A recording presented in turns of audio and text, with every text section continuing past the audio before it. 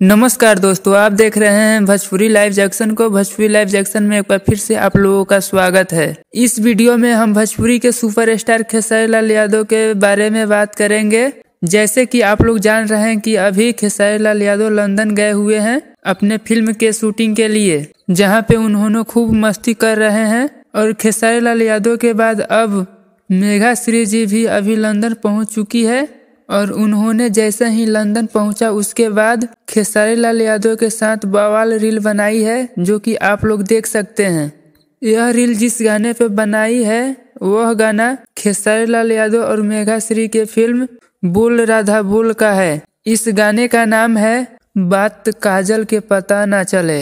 यह गाना अभी अभी रील पे खूब वायरल हुआ है। इस गाने को वह म्यूज़िक से रिलीज़ किया गया था। और रिलीज़ होते ही यह शॉर्ट वीडियो और रील पे वायरल हो गया है। आप लोग खेसारी लाल यादव और मेघा श्री के इस रील वीडियो के बारे में क्या कहना चाहते हैं, कमेंट करके ज़रूर बताएँ।